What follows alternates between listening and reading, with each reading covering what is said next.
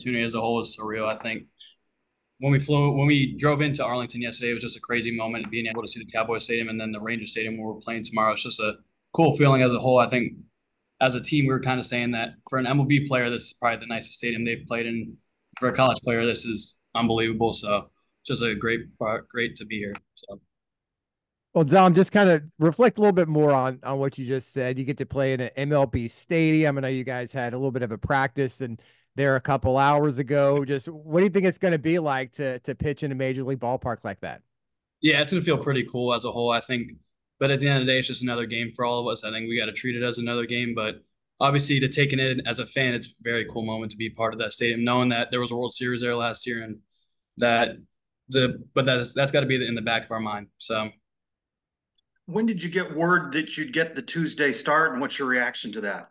Uh, I was told that after my outing on uh, I think it was Friday when we had that doubleheader, and uh, I was very excited. You know, it's an honor to be given the ball for game one, and it's just my turn to get the job done. That's how we view it. You are going up against the Cincinnati Bearcats. You were, the, of course, the star starting pitcher for the one victory you were able to get over the Bearcats when you faced them during the regular season. What do you take from that matchup against the Bearcats going into this one now with postseason stakes on the line? Yeah, I think we just take it as they were a very good team. They took two out of three at our place, and that's got to motivate us a little bit to make sure that, that we got to beat them on a neutral site. And I think it motivates us a whole lot to come out hungry and get a win tomorrow. What from that series did you see that you need to improve on during this big game? Um, I think in general, we just got to be better in tighter situations. And I think throughout the season, we've had a whole lot of playoff like atmosphere games that now it's just the time to turn it on and take take our game to the next step. How would you describe your last outing on Friday? Um, I thought it was good. I thought it was all right. I thought it it was what it needed to be to get ready for this outing today or tomorrow. How do the guys feel about playing Cincinnati? This is a team that obviously a lot of these players are familiar with. You played them in previous yeah. years. It was just a couple weeks ago. They won two out of three uh, at home against you guys. How do you feel about playing Cincinnati again? Yeah, I think regardless of who we played, because up until we were supposed to play West Virginia, and that it didn't matter who we played, we are just re- excited, ready to play, and hungry. So I think it, it doesn't really matter who we're playing. We're just at the end of the day playing against ourselves. How is the team's momentum coming into this tournament after taking two of three against Baylor? Uh, I think it's been pretty well. I think being able to go on the road and take two out of three from a very good team, and even though the record didn't reflect it, reflected that we're just hungry and ready to play another game. So I think we know what's at stake. Cincinnati knows what's at stake. So just playoff baseball at the end of the day. This team beat uh, preseason projections uh, why do you think this tournament is wide open for UCF? Um, I think because when you look at the field and who we've beaten, I think that at the end of the day, we play our style of baseball that we're able to beat any team, and I think that goes for anyone else. That when they're playing their style of baseball, they can beat anyone in this country. So it just it's all a toss up about who's who's hot that day and who's ready to show up. Dom, most of most of the projections, all, basically all of them have you guys in the field of 64 currently. Yeah but how much of a sense of urgency is there in in Texas to to get a win or two to make sure that's solidified come selection Monday? Yeah, we know it's at stake at the end of the day, and I think other teams who aren't in the field know it's at stake in that they're trying to beat us now because we're in that field. So we're at the end of the day hungry that we're not. We're trying to make sure that we're in it come selection show Monday. Last time we spoke, um, spoke with some of the team. Do you guys have real belief that you can go deep in the Big Twelve tournament? What allows you guys to believe that even through some of the inconsistencies that you guys have had this season. Yeah, I think we've shown that, especially come late in the ball games, that we're able to fight back. And I think at the end of the day, pitching and defense wins ball games in the playoffs. And we've shown that we have an unbelievable pitching staff and that we can play defense with the best of them. So I think that's what allows us to think that we can make a run and honestly win this thing. I'm just kind of reflecting on that, you know, all Big 12 second team honor. What's what's kind of different about this season for you? Obviously, taking a big step up from your first year at yeah. UCF a year ago. I know you had your freshman year at, at Stetson. What what changed? What what really improved for you this year to have such a great year? Um, I think just given a pitching coach that I was able to trust in, I think Drew does a great job with me and the whole pitching staff as a whole. And lucky enough, I was able to get the award, but I think there's plenty of other guys on the staff that should have been deserving of it too. So I think I'm lucky enough to get the award, but we as a whole staff had a great year. So. Well, um, there were five other guys that were named all Big 12 yeah. honorable mention. Just what do you have to say about their performance, like Castellano, Kramer? Just yeah, I think they've been terrific all year, and I think honorable mention was still like I think they deserve first and second team, but I think as a whole, we had a even for, besides the five honorable mentions, we should have had more guys on that list. So I think it just feeds us a little extra motivation to obviously attack the Big 12 tournament. Describe what it's like to play in the Big 12 now you've gone through the whole season. I mean, you're always going to be a part of that first UCF team to p- compete in the Big 12. Describe what it's been like. Oh, it's been unreal. I think looking back, you know, we always envisioned as a kid growing up to be playing against schools like Texas, Oklahoma, and now that we've been given the ability to play them, it's kind of a cool moment. But at the end of the day, it's we got to treat it as a normal team another day, and that if we if we sit there and start staring and you know reminiscing on the good old days, that we're not gonna do what we want to do as a team. Kind of referencing to before, you guys beat your preseason predictions. You guys have played to a higher level than a lot expected. Are you still using that as a chip going into this uh, tournament? Yeah, hundred percent. I think at the end of the day, we're always given doubters, haters in our lives that you know to be obviously from a Power Six going into a Power Five conference that you know it just motivates us to work a little bit harder and you know be a little hungrier when it comes to moments like this. You know, you Yeah. mentioned chip there. Uh, there, Cincinnati, as of right now, is currently listed as one of the first four out according to certain pro- projections, Yeah. and of course you're in the field as well. When you think about the postseason implications that go into a game like this, how do you kind of get yourselves into a mindset to go out there and just like treat it like any other game? Yeah, I think uh, if we think the moment's a little bigger than it has to be, I think that's when we don't play our best. And that at the end of the day, we got to treat it as if we're playing, you know, little league baseball in the backyard, baseball, wiffle ball, and just let our natural habits take over. And we've worked hard enough to up to this point that there's no reason to stress that, stress the game tomorrow and what it make it be bigger than it has to be. Uh, Take us back through seeing the stadium uh, for the first time during a walkthrough. What was it like to be inside the venue and know that you'll be pitching there on Tuesday? Oh, it was definitely insane. I think last year in the Clearwater Conference tournament gave us a little taste of being in at least a, a minor league ballpark stadium, and this has just topped it by a ton. So it's a very cool feeling as a you know collegiate baseball player. Dom, what's it like when you're on the road for such a long period of time? You guys obviously went to Baylor early, and you know staying in Texas for the tournament. Uh, how do you guys kind of pass the time when you're on the road for so long? Yeah, I think a lot of us brought, brought uh, video games on the road to pass time, and I think it great, gives us a great opportunity to you know hang out as teammates and bond a little bit more. So, and and we also had a nice little bus ride over from Waco, Texas. So I think at the end of the day, it gives us a little more time to hang out with each other and you know feel like more of like a brotherhood than just like teammates.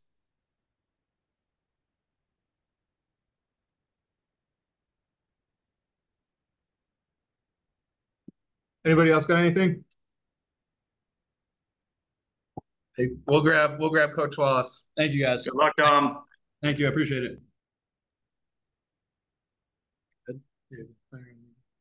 All right, Coach. Uh, I guess first of all, can you just kind of reflect on that Baylor series? I, I know you guys probably felt like you definitely needed to win it, which, which you did. I know you were hoping to sweep. Just looking back on that weekend, did you accomplish what you wanted to? I mean, obviously you're trying to win every game you play, but you going into that series knowing you have to, feeling like you have to win the series, um, puts a little added pressure. But we're at the end of the year, so all the games are like that.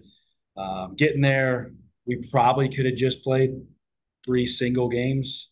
Uh, made a decision early in the day that the rain was going to be pretty bad, but we sat in a hotel about eight o'clock and figured we could have been on the field.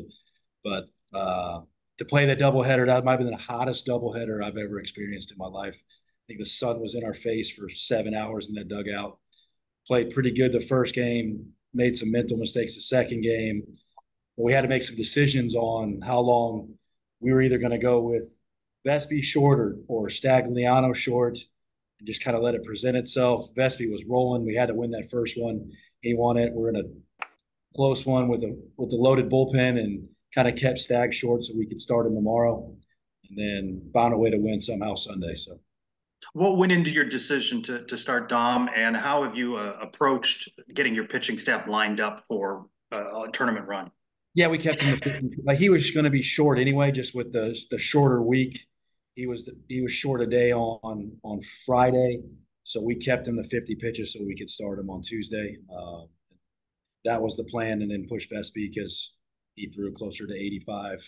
Push him to the next day because you know you have those two games. We had to figure out a way to set that up, and then Wiley pitched well enough. Dom only was at 50 pitches, so everybody should be available except for Vespi tomorrow.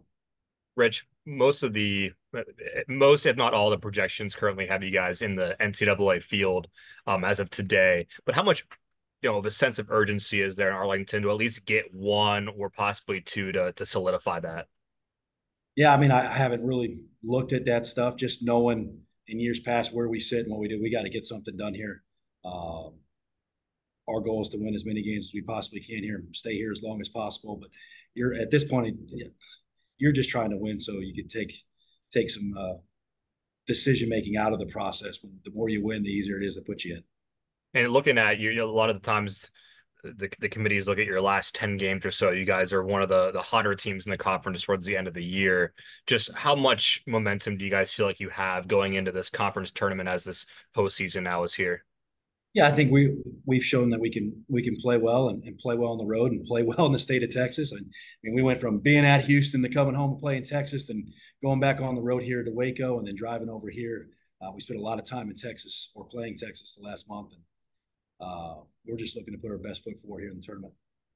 You ended up drawing the Cincinnati, who took two or three from you in Orlando. What did you learn from that series that you're hoping the team can apply when they face the Bearcats tomorrow? No, I think we're two evenly matched teams. Uh, that's a well coached, talented group, and when we play the way we need to play, we have a shot to beat them. And if we don't, they're gonna they're gonna hand it to us just like they did in, in Orlando. Like the, all those games could have went either way. For us, they could have swept us. We could have swept them. They won the series. We could have won the series. There's little moments in the game when you're playing a well coached, talented team like Cincinnati that you got to take care of, or or else. Um, and I'm hoping to do that. Cincinnati, they announced they're going to pitch Nathan Taylor. I think believe he was a Saturday pitcher against you guys. He pitched well into the seventh inning, only gave up I think two earned runs in that game. What do you remember about his outing and, and how he fared against your batters? Yeah, explosive fastball. I mean, he used the fastball up and out of the zone against us. The slider was working that night. Uh, it's it's basically the same matchup. I think it's Dom versus versus Taylor again, um, and we're gonna have to figure out a way to to kind of get to him a little earlier, hopefully, than we did last time. There's there's things in there when you're facing a good young arm like that that you have to that you have to hone in on, or he's gonna he's gonna be uh, tough to deal with for the whole night. We're looking for a little bit better at bats. Projections show that Cincinnati uh, list is one of the last four four out. Considering the question that you talked about before about you know UCF's projections into the tournament as well, with postseason stakes on the line like this, how do you kind of go into a matchup like this and kind of be able to treat it like any other game? Yeah, I think that's all we have to do, right? Like that's we got one of our better starting pitchers on the mound. The bullpen's ready to roll. It to me, it's like the first game of a series. You're going to do everything you can to try to try to win this game and and put your best foot forward and try not to get locked in on those projections because I've never seen them actually be right uh, on both sides of it. So you've talked about your uh, uh, margins throughout these uh, Big 12 series. Uh, your your defense let you down a little bit over the weekend. How important is it for everybody to be focused and uh, sharp for a tournament of this run? Yeah, I mean we have to play defense to the level of our capabilities, and we have to be able to create some things on offense. Like you can just left that place. It's enormous. The infield's fast. It's turf to dirt.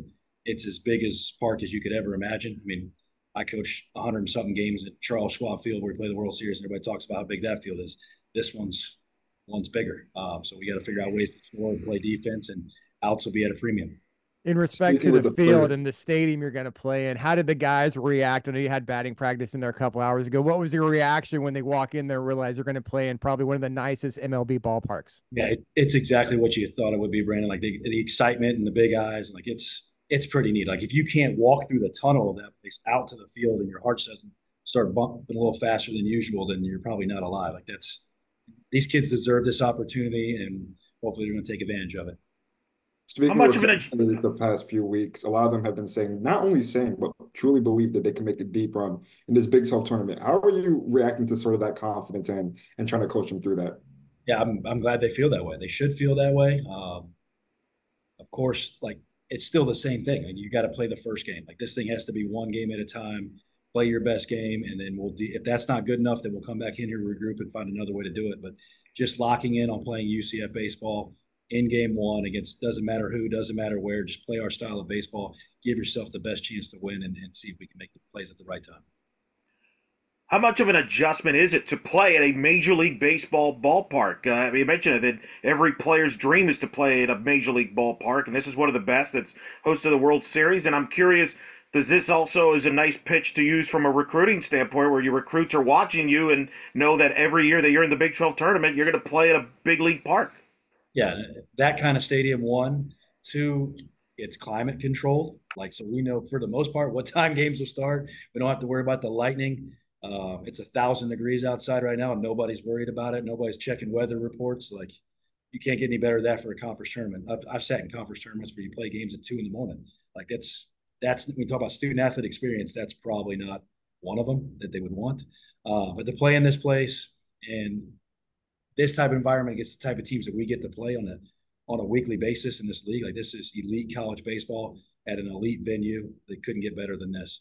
And I think the adjusting to the stadium, obviously the the dirt to turf to dirt is different than anything we played on, and then anybody anybody else has played on in, in college baseball. What do you think of the anytime you go to a big league park, I think the biggest issue is the fly ball and judging it through the through the second and third deck, which none of these guys have have done. Usually you're trying to deal with one set and it gets above something and you can find it. I mean, there's a lot of seats in here. I seriously doubt most of them are going to be filled, especially in the second deck. So just getting used to the surroundings, dealing with the second deck, finding the fly balls, dealing with a roof that looks like it's a thousand feet up in the air. Uh, all things we try to get used to today. What do you think of the format of this tournament, the double elimination, then it speeds up there towards the end? Yeah, um, I, I, think that's probably right. Uh, you got to some those teams that got the first and second seed deserve the break at the beginning. We got to play our way through, and then once you get to the end, like talking about student athlete experience, right? And hopefully those teams at the end are playing next weekend. There's no reason to play those four games on on the on the last two days of the year when you're trying to get ready, hopefully for the next Friday or could be Thursday. Coach Dom Stagliano was named a Big 12 All Second Team today, or, or Second Team All Big 12. What, what was he like this season? What what did he do to really kind of step up his game?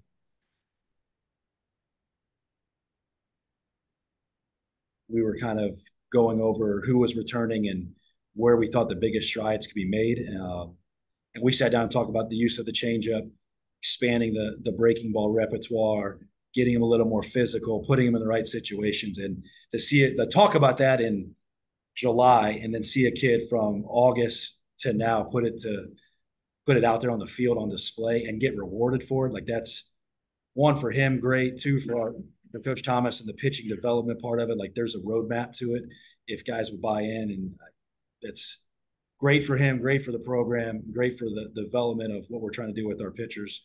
And he honestly, we talked about it. I think he's just now starting to scratch the surface how good he really can be. Coach, you also had five players get named All Big 12 honorable mention, players like Castellano, Kramer, Prives. What is it about those guys that the performance this season that earned them this recognition from the conference? And those have been consistent performers for us since the beginning. Like Kyle Kramer, I know he's taken the ball 30 times whenever we ask. Castellano started, closed, thrown in the middle, thrown at the beginning, thrown thrown at the end. Like he's done everything we asked. Matt's been great, been better than advertised in the outfield, and we always knew he could hit, but he's turned himself into a plus defender in left field. Danny Nerai coming in in January, kind of helping our pitchers and, and doing the things that he did. Um, to be a to get recognized like that because they played well in the league. Like that's you can talk about the whole year, but those guys got recognized because they were contributors in the league, in league games, when it mattered the most, and they got rewarded for it. What's Andrew Sundin's status going into this tournament? Yeah, we're just trying to pick the right spots to use him. Obviously, like he was still working through some stuff, and we try to give him a break. And then Matt Cedarberg's having another Matt Cedarberg May. Uh, he's been hot as fire, and you got to kind of it's there's one spot for one guy to go out there and just hit. And right now, Seed's that guy, and we're trying to get Sunny back locked in, and he'll be used at some point during this tournament off the bench or or at DH. And um, he looked really good today. He looked more like himself today. So hopefully we'll get a chance to use him here soon. As referenced before, obviously a lot of pitchers were recognized in the uh, for the Big Twelve. Do you think that your pitchers, uh, starting and bullpen, their versatility can can be one of your biggest edges in this tournament? Yeah, I think so because I, I don't. I, we have some unselfish guys that don't really care when they get the ball. They just want to help the team and and find a way to win games. And that's huge down the stretch because that, there's some of these games are going to be messy, and you got to figure out who you're going to use, when you're going to use them, and all of our guys have been used in different situations. I think they're prepared for that, uh, and and they're and they're for it. And we got a bunch of guys that they don't really care; they just want the ball in the biggest moments and, and want a chance to help us win. Coach, I know the focus is obviously on Tuesday in game one, but for uh, day two, would Vespi be able to pitch on shorter rest, or is that just kind of like like a TBD decision to see what happens tomorrow and then decide? Yeah, that would be TBD. I, I think he can. We'll just kind of see what the matchup is and how he feels. Um, but if I, if I had to guess, if I ask him, he's going to tell me he feels fine. So we'll kind of see where that is. We do some testing here. Kaylee Shores, our our trainer, and, and Coach Thomas, they do some testing just to see where the strength levels are and if it's if it's normal, so that there's not a lot of lying when it comes to that part. Like the the arm tells you what it needs to tell you. Um, so, but he's he's thrown on shorter rest before. He's very diligent in his in his prep work, post, and, and all that stuff, and, and getting himself ready to play. And mean, he's a he's a senior that that wants another shot to pitch. So I would assume he would be okay. Coach, what is the difference between the team you saw in the season opener versus the team you see right now going into their first Big 12 tournament? Well, I think it's it's been battle tested, right? Like we were just learning some of the stuff we wanted to do, and they were just trying to figure out where they fit in the whole thing. I think they understand where the what they need to do, where they fit in the whole encompassing part of the the team and how we win. Um, and they've been through some battles. We've been to some tough places with some tough travel, and won some really really tough games, lost some tough games, got our tails whipped at time, and had to respond. There's really not much they haven't already seen. So to me, they're battle tested and and ready to make a run. You just mentioned tough travel. What's it like being on the road as long now as you have been? Yeah, it's it's tough, right? They, they've been gone for a while. Um, second courtyard in as many weeks, courtyard Marriott. Um, but just dealing with that, like we got to lift in somebody else's weight room. You're sleeping in hotel beds. Some of our guys have already started summer school, so our guys were on the computer doing school last night. And but at the same point, like they just wanted the chance to be in this tournament, make a run. I think they're excited to play. And I mean, they're 18 and 22 year olds. It's not like me and you, Trace, trying to deal with these beds. They'll be fine. You'd like to be there long enough to get your mail forwarded to Texas, right? 100%. I don't, I don't if we could stay on the road for another three weeks, I'd be happy. Coach, what's the key to having a successful tournament? What's going to be the key, one or two things that you have to do to have a successful run? Well, I mean, you don't have to win the first. Or we got to win the first. You don't have to win the first game, but it sure as heck helps. It's just being able to play the type of baseball we need to play. Like, can we can we pitch and defend at a high level? If we do that, we got a shot. If we can execute on offense, offense and be timely on offense, we're going to have a shot. And if all those things happen at once, like we can play with anybody in the country. You guys have seen it. We can play with anybody when we when we do those things and, and play to the level of our capabilities. This league is projected by many to have seven to eight bids, depending on how things go in the week. You've coached in some of the best leagues, including the ACC. Describe the Big 12 uh, and why it's so deep and talented. Well, I think just you got really good baseball programs and programs that have really good baseball resources. Uh, recruiting, like we went to Baylor, Baylor, in those facilities, and, and that's a good team. Like that was a really good team that we played. That's not even in our tournament. So those guys that have a we're playing somebody like that every single weekend. Uh, the pitching from top to bottom, not only the starting pitcher but the relievers, the physicality of the lineups. There's some real like just go through the draft boards. Like you're going through teams where there's first round picks every weekend. Um, if not first round pick, first first two day picks on every team, um, and that's something that you got to prepare for. It's to me, it feels no different than the ACC as far as the quality of team from top to bottom. Uh, the travel's obviously a little more spread out in certain parts, but I mean, I coached in the ACC when we were in South Bend, so there's really not much. Might as well been in Canada, so this is couldn't be as bad as that. How wide open do you consider this tournament? Say that one more time. Sorry, James Jump. How wide open do you consider this tournament? Anybody well, can win it. Look, yeah, I think so. Just look at the the league. Like how I mean, you went into the last day of the league trying to figure out six spots. Like there's a lot of us that that are bunched up and with talented teams, well coached teams that on any given day can beat anybody. And these things are crazy anyway. Whether whether it's balanced or not, these conference tournaments get get crazy and nuts and things happen. And you got kids, some kids fighting to play the last game of their career. So um, crazy stuff can happen. You guys good? Thank you. Thanks, everyone. All right. Thank you, guys. Appreciate Thanks, Coach. Good luck. Good luck, Coach. Thank Thanks. you, guys.